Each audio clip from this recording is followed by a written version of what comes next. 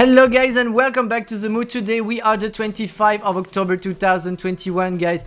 This is our Bitcoin price. We are going back to this price. No, I'm just kidding. This is 2017 obviously, but you just know it because you see this price here except the chart is basically exactly the same as what we are having right now including this bounce guys. And that was the 20 of October 2017. We are just lagging 5 days, only 5 days. Isn't that insane guys? And if you you want to know what's happening next, it's very easy. Just press play. We've been to, to November uh, in a bouncy and choppy move until November happened. We had one final hit and then around the 10th we dumped. So we'll be very careful around the 10th of November guys. But this is a perfect roadmap of what's gonna happen and I really invite you to pay a lot of attention to this chart. Then we've been up to December. December was a really really firework month. We've been up there nearly to 20,000 but we touched it and then we bounced back. This is still middle December guys guys and that's where things went crazy. And then well you know what happened after that. Bear market. We don't want to see the bear market. We just want to see the how it went from 5000 up to 19000 in a glimpse of two months just two months basically the ones that are coming right now. And you can see there are so many similarities guys. So welcome to the mood. We are going today to analyze uh, bitcoin of course as usual as we do on a daily basis. Guys and also we are going to make an analysis of shiba. You all voted on our telegram group and make sure you join our telegram group. If you didn't see that's how it works. We just vote there guys. We just vote there. So you can participate yourself. Just join us there okay? And without further ado let's get into the action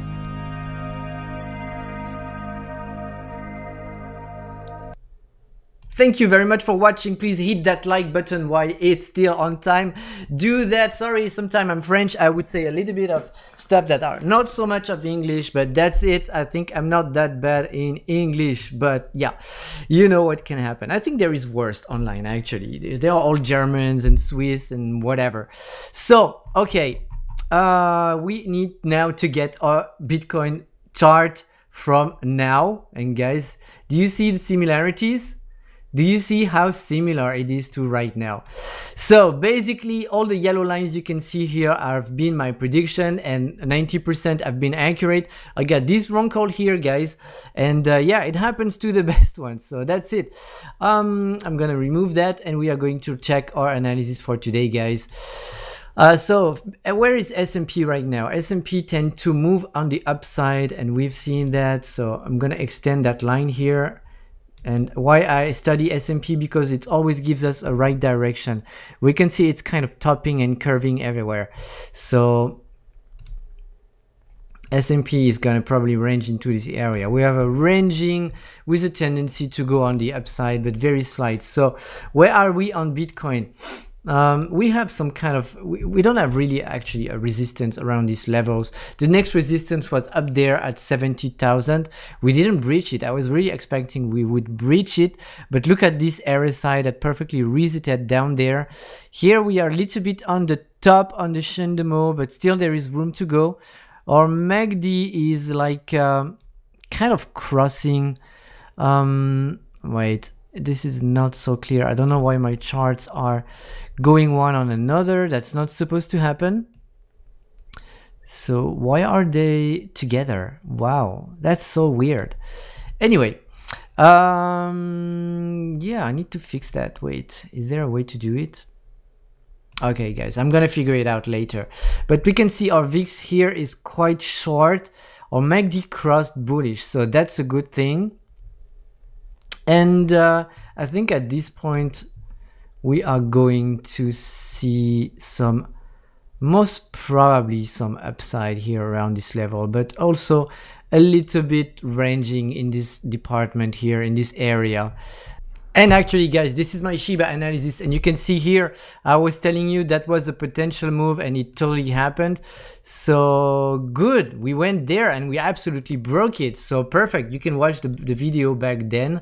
And guys, if you didn't see it, well, make sure you check out the channel and that you subscribe also to the channel. So where are we now? We can see our Shandemo is uh, ranging. We have a, a VIX that has a tendency to go on the upside, which is actually good here. We need really to get a bounce on this MACD, and we are bouncing right now over this RSI trend line. So guys, what does it mean for us?